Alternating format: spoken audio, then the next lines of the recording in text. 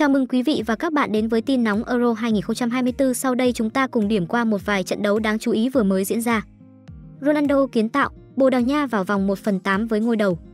Huấn luyện viên Roberto Martinez đã có một sự thay đổi đáng chú ý trong đội hình của đội tuyển Bồ Đào Nha so với trận thắng Cộng hòa Séc. Đó là việc để Joao Panhinha đá chính còn Diogo Dalot dự bị đồng thời chuyển từ sơ đồ 3-4-3 sang 4-4-3. Và có vẻ như sự thay đổi này giúp cho lối chơi của Bồ Đào Nha mượt mà hơn. Bóng vẫn được dồn nhiều cho siêu sao Cristiano Ronaldo nhưng các pha dứt điểm của anh chưa đủ độ khó để đánh bại thủ thành Bay Eider. Và trong khi CR7 chưa lên tiếng thì một ngôi sao khác đã ghi dấu ấn.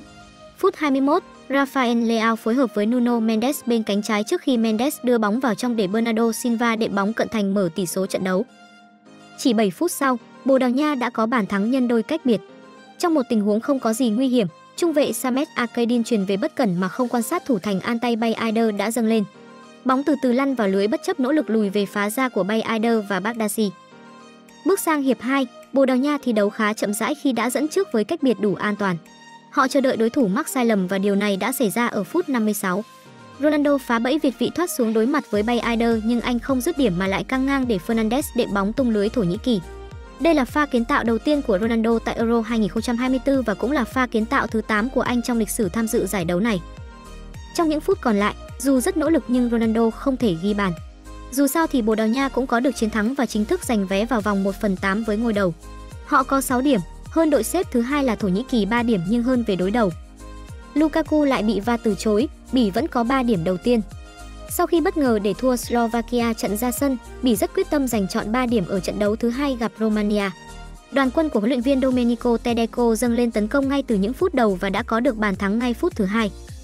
Trong một pha tấn công nhanh, bóng được đưa vào vòng cấm cho Lukaku. Tiền đạo này hãm bóng trước khi truyền ngược lại cho Tielemans sút điểm thuận lợi ở rìa vòng cấm. Cú sút căng như kẻ chỉ đã giúp Bỉ khai thông thế bế tắc. Có được bàn thắng, Bỉ càng thêm hưng phấn và áp đảo đối thủ. Lần lượt Lukaku, Doku có cơ hội dứt điểm ngon ăn trong vòng cấm nhưng sự xuất sắc của thủ thành Nita đã giúp Romania không bị thủng lưới thêm lần nào trong hiệp 1. Bước vào hiệp 2, thế trận vẫn không có nhiều thay đổi. Những cơ hội nguy hiểm vẫn được Bỉ tạo ra. Phút 64, Zebrin chọc khe đẳng cấp cho Lukaku thoát xuống và dứt điểm gọn gàng tung lưới Romania. Tuy nhiên một lần nữa Va từ chối bàn thắng của Lukaku vì lỗi việt vị. Dù Lukaku vẫn khá đen đủi nhưng Zebrin thì không. Phút 80, tận dụng đường phát bóng từ sân nhà, đội trưởng đội tuyển Bỉ đã tranh chấp dũng mãnh trước khi tung cú sút gọn gàng nâng tỷ số lên 2-0. Đây cũng là tỷ số cuối cùng của trận đấu này. Đội tuyển Bỉ giành chiến thắng và có 3 điểm đầu tiên để vươn lên vị trí dẫn đầu bảng E tại Euro 2024.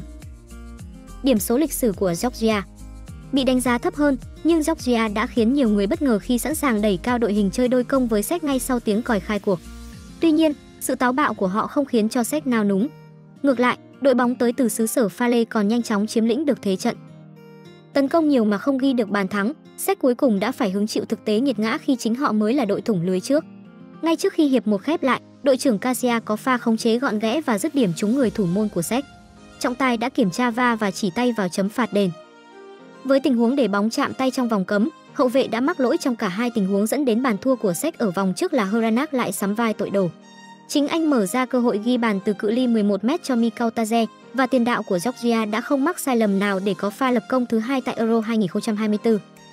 Bị rơi vào thế phải rượt đuổi tỷ số, Séc đã gây sức ép nghẹt thở lên khung thành Georgia trong suốt cả hiệp 2.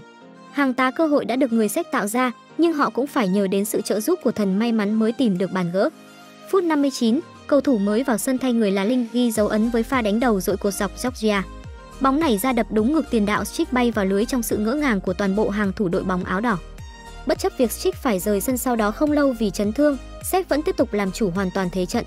Tuy nhiên, trong một ngày mà thủ thành Mamardashvili thi đấu xuất thần khi liên tục có những pha cứu thua xuất sắc, Séc đã không sao tìm được bàn thắng thứ hai. Họ thậm chí còn suýt để thua vào những giây cuối cùng của trận đấu, nhưng rất tiếc cho Georgia là Lobjanis lại sút bóng lên trời sau tình huống phản công 3 đấu 1. Tuy không thể khuất phục Séc, song Georgia vẫn có lý do tự hào bởi họ đã giành được một điểm lịch sử trong lần đầu tiên tham dự vòng chung kết Euro. Chơi có trách nhiệm, chọn nơi uy tín. Truy cập ngay tề.mi/kto, nhận ngay 50k miễn phí trải nghiệm